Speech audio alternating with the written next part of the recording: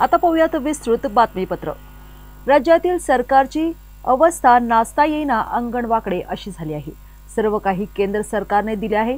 केंद्राकडे बोट दाखवून मोकळे होणे यापेक्षा दुसरा धंदा या सरकारकडे नाही अशी टीका भाजपचे प्रदेशाध्यक्ष चंद्रकांत दादा पाटील यांनी सांगलीतील आयोजित पत्रकार परिषदेत केला. याच पत्रकार परिषदेत गोपीचंद पडळकर यांना समज दिली. तुम्हाला जे बोलायचं आहे तेच बोलायचं असतं पण नीट बोलायचं असतं. अशा भाषेत त्यांनी पडळकरांना समज दिली. भाजपचे प्रदेशाध्यक्ष चंद्रकांत पाटील यांनी सांगलीत जिल्हा परिषद अध्यक्षांच्या बंगल्यावर सांगलीच्या नव्या महापौर पदाबाबतची खलबत केली. सर्वांचे समाधान करण्यासाठी उर्वरित कालावधीसाठी तीन महापौर द्यावेत असा पक्षांतर्गत आग्रह असल्याचं समजत आहे महापौर पदासाठी दिनांक अठरा म्हणजेच गुरुवारपर्यंत अर्ज दाखल करता येणार आहेत.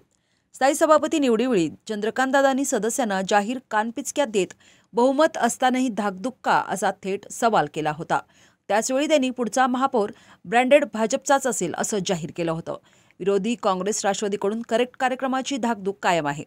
तथापि भाजपमधील एखादं दुसरे नाव पुढे आल्यास दोन्ही काँग्रेसमधून फारशी हालचाल होणार नाही कारण तत्कालीन जे जे पीचे महागडीचे जुने स्नेहबंध कायम आहेत.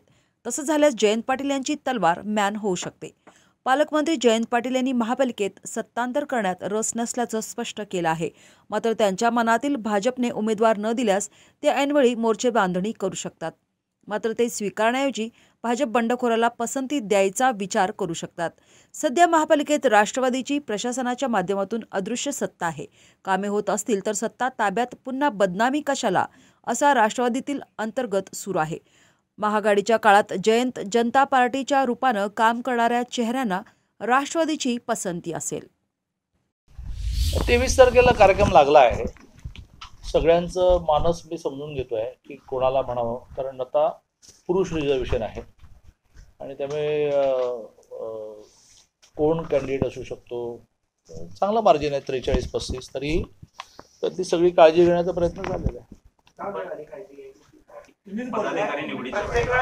मी मी आज आमच्या राज्याच्या रचनेमध्ये जिल्हे वाटले अर्थसंकल्प प्रेस कॉन्फरन्स माझ्याकडे सांगली आलं.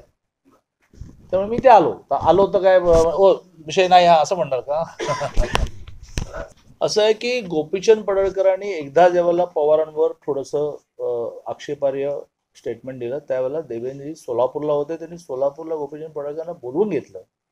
आणि त्यांना हे समजून सांगितलं की महाराष्ट्राची एक राजकीय संस्कृती आहे. आणि तेव्हा आपण या लेवलला जाऊन कधी बोललं नाही पाहिजे. माझं माझ्या माहितीप्रमाणे त्यात गोपीचंद पडळकरांनी खूप आता करेक्शन्स केल्या आहेत. पण दुसरा मुद्दा काय असतो? ज्याचं जळतं त्याला कळतं. मला आणि देवेंद्रजींना काय जातं सांगायला गोपीचंदला? या धनगर समाजाने ज्या प्रकारची फसवणूक सहन केलेली आहे पवारांकडून त्याच्यामध्ये चीड व्यक्त होऊन आता त्यां- त्यांची त्यांची एक भाषा आहे. हां. पवार साहेब काय कमी लोकांना टोचून बोलतात की आता आज त्यांनी मी काल काय म्हटलं तुम्ही सगळ्यांनी समजून घ्या मी काल असं म्हटलं की जे महाराष्ट्रामध्ये चाललं आहे धनंजय मुंडे विषय असेल किंवा आता नाव न घेता एका मंत्र्याच्या बाबतीत चाललेला पूजा चव्हाण विषय असेल यात पवार साहेबांकडून अपेक्षा आहे. आता ह्या वाक्यावर सुद्धा रिॲक्ट व्हायचं असेल तर ओके ऑल राईट आता मी काय म्हटलं की आमची तुमच्याकडून अपेक्षा आहे की तुम्ही खूप सिनियर आहात सीझन्ड आहात मॅच्युअर्ड आहात. तर हे तुम्हाला सिनियर सीझन मॅच्युअर म्हटलेलं नको आहे का? इट्स ओके होईल. या सरकारला काय झालंय की नाचता येणं अंगणवाकडे. सगळं केंद्राने दिलं. म्हणजे एन नाईन्टी फाईव्ह मास्क केंद्राने दिला पीपी किट केंद्राने दिली टेस्टिंग किट केंद्राने दिली. आता इंजेक्शन केंद्र देणार आहे. पॅकेज केंद्राने सगळी पॅकेजेस दिली. लोकांना मोफत रेशन दिलं. मोठ्या प्रमाणावर फेरीवाल्यांना दहा हजार रुपये लघु उद्योगांना वीस टक्के कर्जाच्या वाढीव कर्ज विदाउट मॉडगेज मोठी यादी आहे. महाराष्ट्राने काय दिलं? एक तर वाक्य सांगा मला महाराष्ट्राने काय दिलं? फेरीवाल्यांना दिलं का रिक्षावाल्यांना दिलं का घरकाम करणाऱ्या माझ्या ताईला दिलं का दुकानदारांना दिलं? एक रुपयाही कोविडवर यांनी खर्च केला नाही. एक रुपयाचं पॅकेज दिलं नाही. आणि सारखं केंद्र केंद्र केंद्र. आता जी एस टीच्या बाबतीत आपल्याला माहिती आहे की दोन तीन प्रकाराने केंद्रातून त्या नोटमध्ये शेवटी म्हटले आहे ना किती पैसे याला केंद्राकडून येणार आहेत. एक आहे G S T ninety percent प्रॉडक्टना टी तर त्याचा दिवसभराचा एक रुपया कलेक्ट झाला की तो आपोआपच पन्नास पैसे महाराष्ट्रात राहतात. त्याला काही करावं लागत नाही.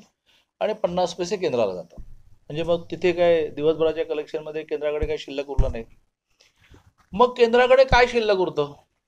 तर प्रामुख्याने केंद्राकडे शिल्लक उरतो तो पाच वर्ष तुम पाच वर्ष जी एस टी सुरू करताना जी अमाऊंट तुमची कलेक्शनची होती पाच वर्ष त्याच्यामध्ये शॉर्टफॉल झाला तूट झाली तर केंद्राने द्यायची.